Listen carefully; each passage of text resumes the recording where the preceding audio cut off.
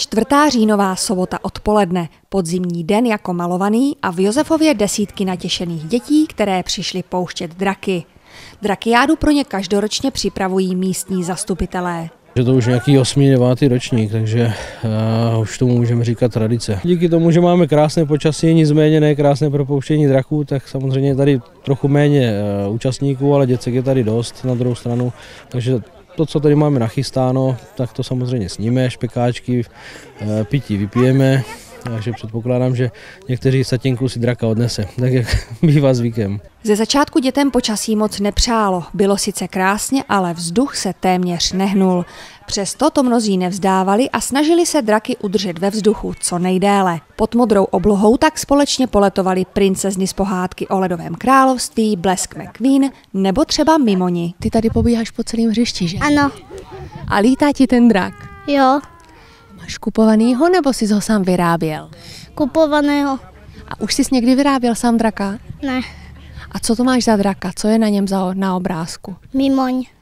Mimoň. A Mimoň lítá dobře? Ano, Vy máte kupovaného nebo vyráběného draka? Vyráběného. Kdo ho vyráběl? Tatínek.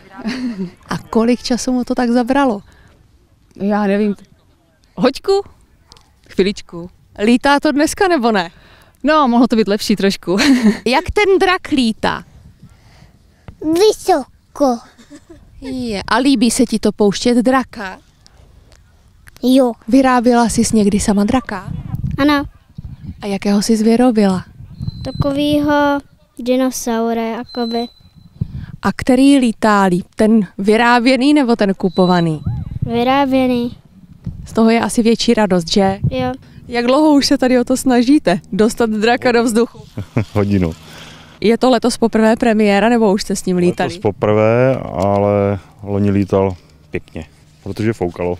Po čtvrté hodině odpoledne se ale najednou zvedl vítr a obloha nad Josefovským fotbalovým hřištěm se začala plnit. Společně si poletovali vzduchem jak malí draci, tak i ti, kteří už potřebovali asistenci dospělé osoby. Z některých se postupně staly jen vzdálené tečky na obloze. A koho s přibývajícím časem začaly bolet ruce, přesunul se k ohni, dal si špekáček nebo třeba lízátko a zbytek sluného podzimního odpoledne prožil s josefovskými sousedy.